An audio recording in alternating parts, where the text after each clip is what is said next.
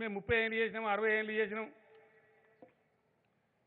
పచ్చ జెండా ఓడేమో డెబ్బై ఐదు రూపాయలు ఇచ్చాడు వీళ్ళు రెండు వందల రూపాయలు ఇచ్చారు అదే ఇవాళ మేము పది రెట్లు పెంచి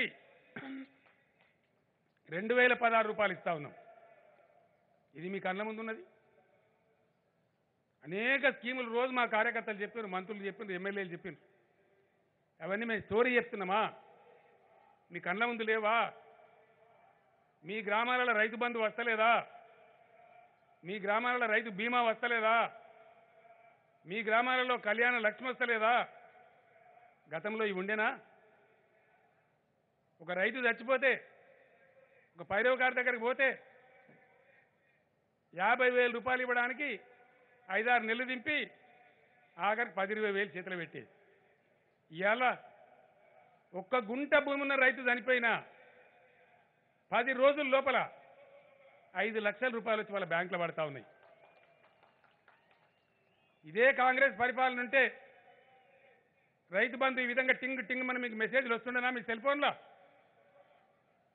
మధ్యలో దరఖాస్తులు దఫ్తర్లు గీకెటోడు గోకెటోడు సగం పోయి సగం చేతికొస్తుండే. ఈరోజు ఏ పైరవి లేదు ఎక్కడికి పోయే అవసరం లేదు. ధరణి పోర్టల్లో నీ భూమి వచ్చిందంటే నీకు ఎన్ని ఎకరాలుందో అన్ని ఎకరాలకు పంటకు ఐదు వేలు చొప్పున సంవత్సరానికి పదివేలు చొప్పున నీ బ్యాంకులో డబ్బులు వస్తున్నమాట నిజమా కాదా? ఇది వట్టిగానే ఉఫ్మని మంత్రం వేస్తే ఆయన ఆది వట్టి మాటలు మాట్లాడితే ఆయన ఆది ఘోరమైన కష్టం ఇదే మీ జిల్లాలో ఉన్న మంత్రి జగదీష్ రెడ్డి. భయంకరమైన కష్టం చేసి ఇరవై ఐదు వేల కోట్లు ఖర్చు పెట్టి అవో రాత్రాలు పనిచేస్తే ఇలా మీ నెత్తి మీద తిరిగే ఫ్యాన్ ఆగుతలేదు. తెల్లని దాకపోయి పాము కాటుకు తేలికాటుకు గురి కావాల్సిన బాధ పోయింది అలా రాలేదు ఇది కూడా నిజం కాదా? ఇవన్నీ ప్రజలకు తొలగిపోయిన బాధలు కాదా? కరెంటు బాధలు తీర్చినాం మంచినీళ్ళ బాధ తీర్చినాం పేదలకు సంక్షేమం చేస్తున్నాం ఇవాళ సాగునీళ్ళ మీద పడ్డాం.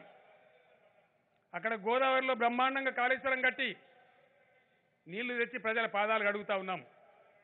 పేపర్లలో చదువుతున్నారు మీరు టీవీలలో చూస్తున్నారు.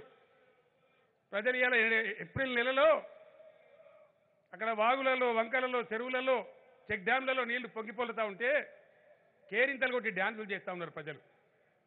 అట్లనే రేపు మీరు నెల్లికల్లు నెల్లికల్లు లిఫ్ట్ నీళ్ళల్లో కూడా మీరు కూడా కేరింతలు కొట్టాలి. ఆ కేరింతలు మా భగత్ చెవులో నా చెవులో మా మంత్రి చెవులో పడాలి. మేము కోరేది గది.